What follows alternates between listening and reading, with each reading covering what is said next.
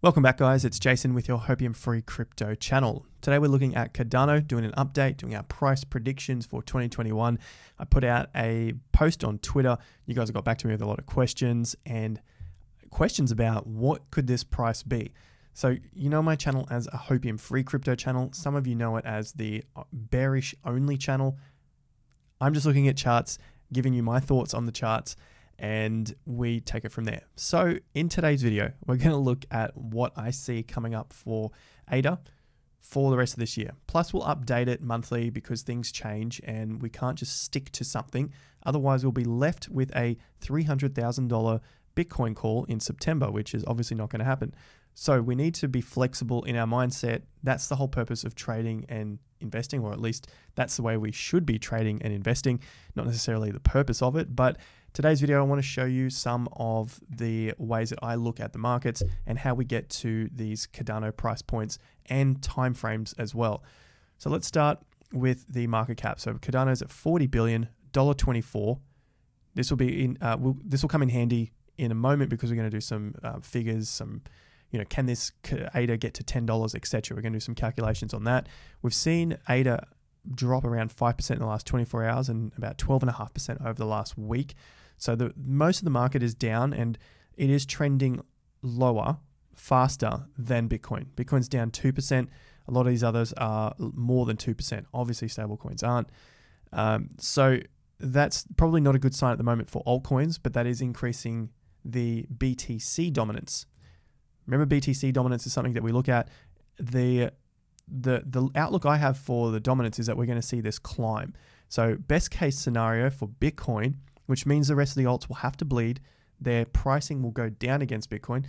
Uh, this is probably going to be somewhere around the 56 to 61% level. So that means Bitcoin might even stay where it is, and it just mean that the alts will have to bleed out.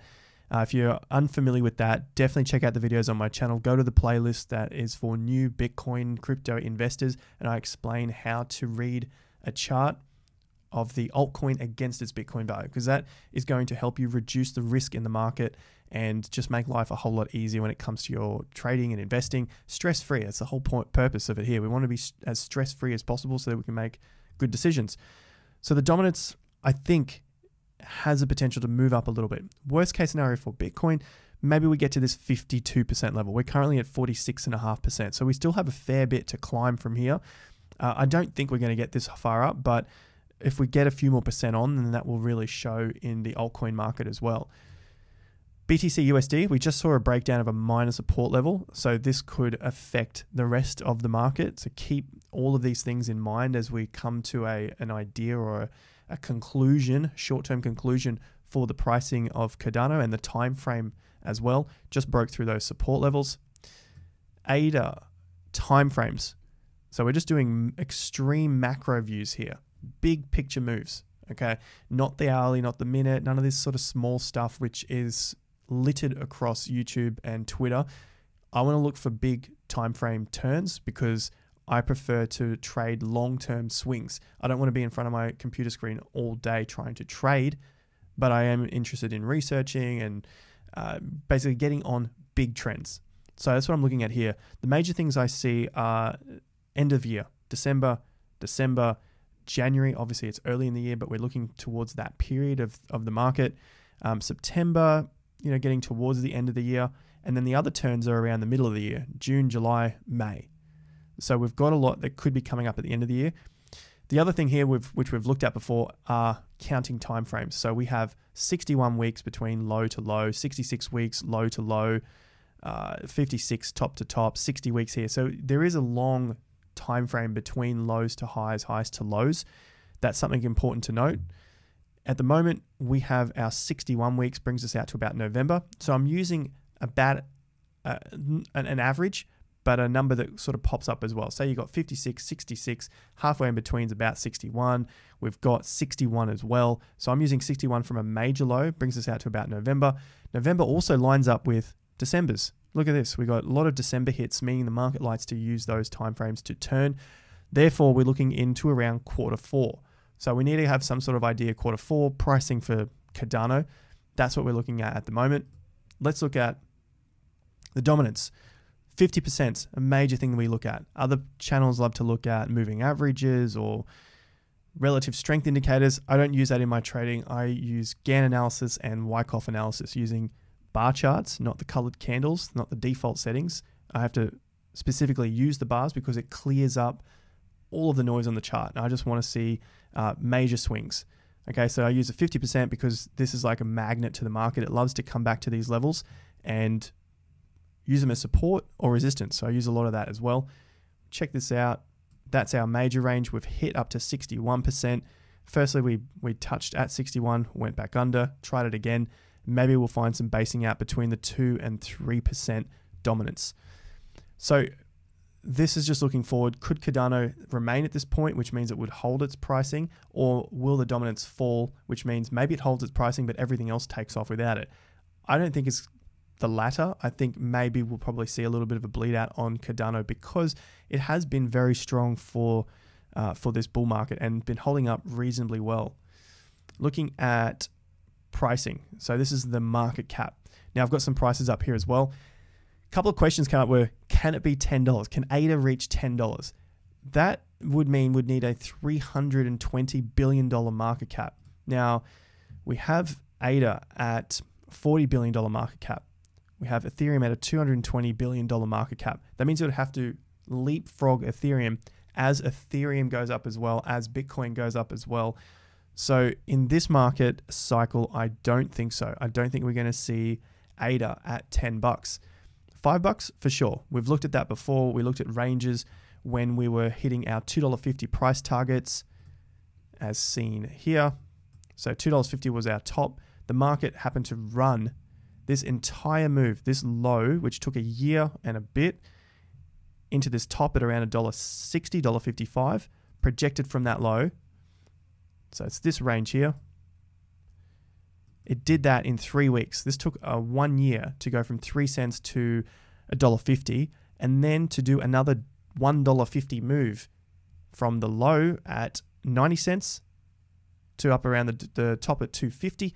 It only took three weeks. So the market was really, really hot. We talked about this at the time. Receipts are on the channel. You can see those videos. And that was starting to look a little bit hot. So I'm using the fib tool we got 100% range to $1.40. So we hit that, reversed.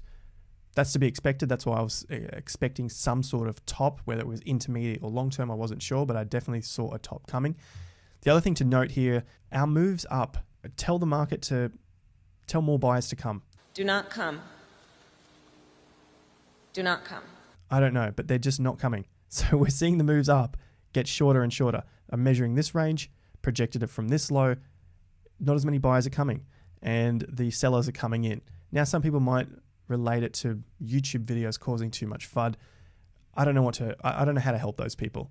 All I'm doing here is looking at the charts and, sh- and explaining what is going on. The moves, the buyers are running away. They're not purchasing at the moment. What we want to wait for is a dump or a basing out volume begin to dry up, like we're seeing here, except the, the, the, market is still falling, and then it can look like a good period to potentially begin accumulating more. Now, I've got a couple of zones, zones between 40 cents and a dollar. That sounds pretty scary to, I guess, a lot of people who may have bought at $2.50.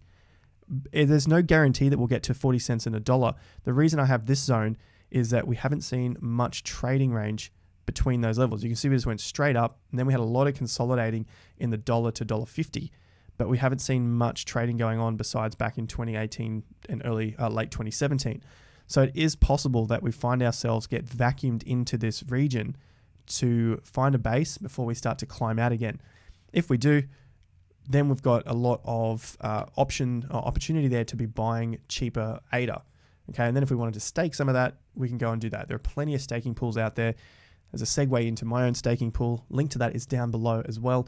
Uh, it's free to go and stake it. Anyone can stake their Cardano over there. You can take it out anytime you like and uh, very easy to do. The video to it, check it out. The Investor Accelerator staking pool for ADA. All right, so so far it's not looking so good. The moves up are getting less. The timeframes that we've been looking at on Cardano seem like quarter four. So this is also not looking so good. I'm looking for a turn probably in the next several or few months to later this year. The price range anywhere in that 40 cents to a dollar. We're going to keep updating this. Hopefully, for the long term, we see some levels hold up here. Otherwise, hopefully, we've got some cash to be buying it up cheaper. In terms of a prediction, I'm looking for somewhere between that 40 cents and a dollar. Now, with all of that bad news, lower prices, God forbid, out of the way, let's have a look at what we could get to the upside. $2.50 is the old high. That would be a $80 billion market cap. $3.75 would be a $120 billion market cap. Five bucks would be a $160 billion market cap, all within reach here.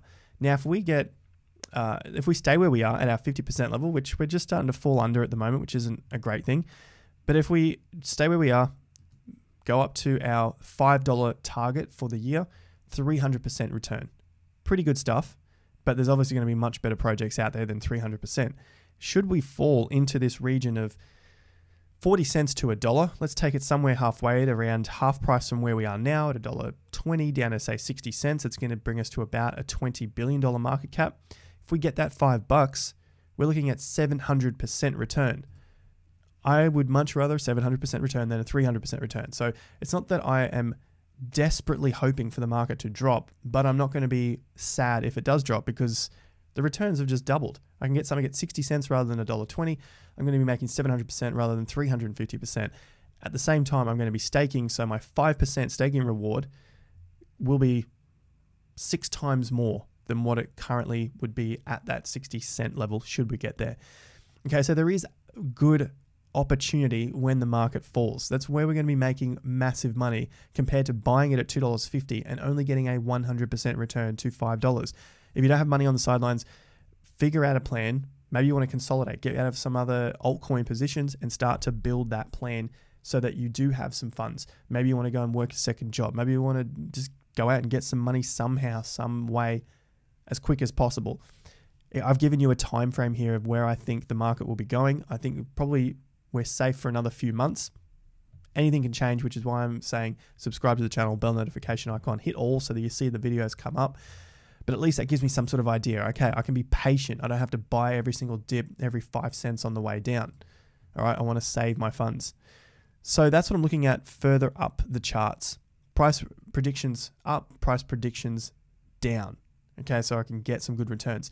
Now let's get through Cardano against the altcoins or the smart contracts. You know, how does Cardano compare to Ethereum, Polkadot, Solana, Binance? Let's look at those. We'll start with Bitcoin and then get onto those. At the moment, it's on a downtrend. That's what the chart says. Lower highs. The lows have been getting lower. We're holding up at the moment. Should we fall, we fall into this little zone of my purple box here at 50%, 20, uh, 2700 sats. Needs to find some support. Otherwise, again, it'll just keep going down and, uh, and continue to test previous resistance levels. At the moment, our next range is around 3200, which is the old top and then we head down to 50% and then the 38%, which is close to these lows here at 21, 2200 Satoshis. I don't see a bottom coming in just yet, so I'm going to be patient with this.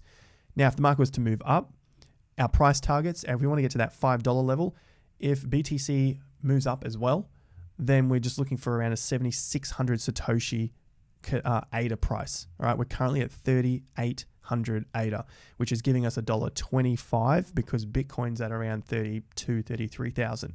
We'll keep measuring that, looking at all the different prices on the way up as we go. But from here, five bucks definitely looks possible. Not saying it will happen, but at least it looks possible, and it's still a realistic look at the market moving forward. Uh, ADA ETH holding up well. It's above old highs. You can quickly and easily see that. Some good volume on these lows. Uh, bringing in support, and the lows have been getting higher. That's a good sign. Look at that. We did smack heavily on 50% and get knocked straight back down, but we've recovered. So this is a good sign. ADA Binance, probably the worst out of all of the charts. Uh, it hasn't been a very good performer against uh, BNB, which is a little unfortunate, but that's the way the cookie crumbles. At the moment, we're holding up okay. Volume is drying up, and the lows are getting lower lower highs, lower highs, lower lows, lower lows. Slight downtrend at the moment. So we need to find some support here and then start to base out and move up, which would mean Binance would have to come down. ADA, DOT, one of the best performers. DOT has been terrible. ADA has outperformed DOT extremely well. It's just been up only, up only, up only. I do note volume is drying up, which means maybe we're going to see a bit of a turn in the market. The ranges have been getting shorter. All it is here is that and that. You can see the range is getting shorter, meaning the buyers are becoming less and less. So less people are wanting to buy at the moment and probably just sitting on the sidelines waiting. Last one to have a look at is ADA Solana. This uh, ADA was strong, then it was weak, and now we're at this sideways period back to nearly where we were. So Solana is also another fantastic project, which I talk a lot about. If you were to have both of these in the portfolio, at the moment, it seems like it's pretty reasonably balanced. At some points, ADA outperforms, other times Solana outperforms. When this is going down, this means Solana is strengthening, uh, is, is gaining more strength than ADA. Doesn't mean ADA's price has to fall. It just means Solana is performing better. So that's why it's nice to have a bit of a balanced portfolio with the rest of these other, other uh, cryptocurrencies. So overall, what we've looked at is timeframes, prices to the downside, prices to the upside, realistic potential for the upside, realistic potential to the downside, although it seems scary and crazy. Could we ever actually see a, a Cardano under a dollar? Anything is possible in this market. We weren't expecting it to crash at this point and begin to hold up at a dollar twenty, but here we are. So I'm going to keep these timeframes in mind. I'm going to keep updating the charts. Stick around on the channel, subscribe if you haven't already, bell notification icon down over here. Like the video up if you found some value from it. Thank you for your comments. Let me know down below what your thoughts are. Are we going down for the rest of the year or is this it? Are we turning around? Are we heading back up? I do appreciate all the comments and I love hearing about your wins in the market, especially when you've been noticing it on the chart and making good gains from, from what you're seeing and protecting your capital. Because at the end of the day, it's not about what we make, it's about what we keep. You've seen it happen so many times already. The amount of people who have made money and then lose it on the way down. It happens time and time again, and it is proven to happen again in the future. Otherwise, everyone would have to be selling out at the top and it would just dump the market straight away. So make sure you have your plan ready to go for the next stage of the bull market. Like I said, it's not about what you make, it's about what you keep. Thanks once again, guys. Like the video, subscribe, bell notification icon. See you on Twitter for daily crypto updates. Easiest way to be up to date as soon as possible. Um, over there a lot, and also Instagram for daily Q and A's. So uh, follow me on Instagram. Links down below. The Investor Accelerator staking pool is down below for Cardano. Plenty of other links, newsletter, free newsletter coming out, crypto, investing, everything in between on that. Uh, free. Drop your email down below. I'll see you at the next video. Until then, have more fun to get more done.